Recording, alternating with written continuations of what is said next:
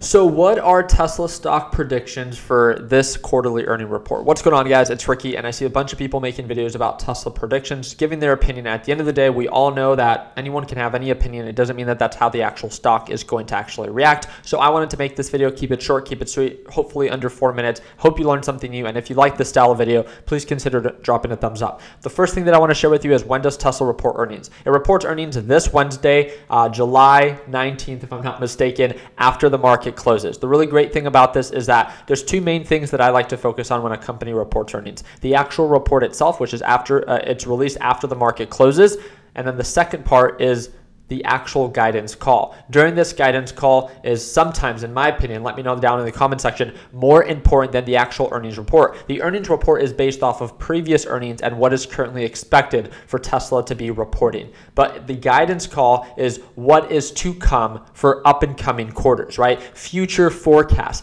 That tends to be more valuable for future investors. If anything is said during the guidance call that is optimistic and or a little negative, then again, it could send the stock nosediving even if the actual report itself was better than expected. Something to take into consideration. Let's go ahead and just jump into the screen real quickly. What is the market's expectation for Tesla in this quarterly earning report? On July 19th, the earnings per share is expected to be 82 cents per share. The revenue is expected to be $24.67 billion. Now, again, it's going to be the initial reporting, right? So once the report is released based off of market's expectation, we'll determine the initial jump up or jump down. But one thing that I want to get a little bit deeper in is the idea of Although revenue might be greater than expected, here's one thing to look out for. Uh, one of the key takeaways of this is that Tesla has recently undergone a lot of price cuts. And because of those price cuts for their vehicles, it created a lot of demand because of not just the price cuts, but also the rebates, the tax rebates that are now available for these EV vehicles. So, because of those price cuts, it did create more demand,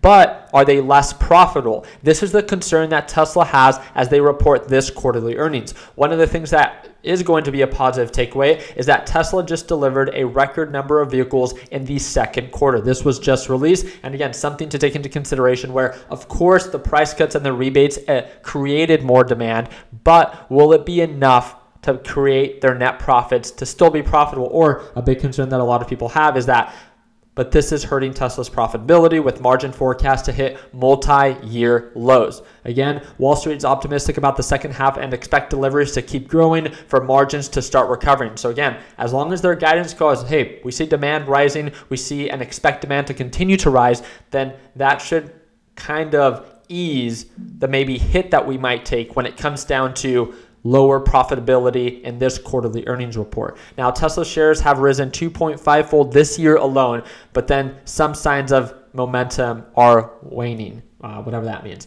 Uh, the overall idea is that Tesla went from lows of 101 to highs as of right now of 290. Tesla is at 52 week highs just before it begins to report earnings. So not only does, in my opinion, have to beat expectation, but it has to exceed expectation, especially with their quarterly earning reports. So only time will tell. But I wanted to make sure that you guys understood when it was reported, what time, and also that it comes in two different sets the actual report itself and the guidance call. But I also wanted you to understand the market market's expectation for these quarterly earning reports. If you have any questions beyond this point, feel free to send me a direct message via Discord or via Instagram, and that's the first or third link in the description down below. And again, I do want to remind you, I do trade live every single morning. I'd love to see you watch me trade live as soon as tomorrow. And if you want to check that out to tune on in, it's going to be the second link in the description down below. I appreciate your time, and like always, let's make sure that we end the year on a green note. Take it easy, team.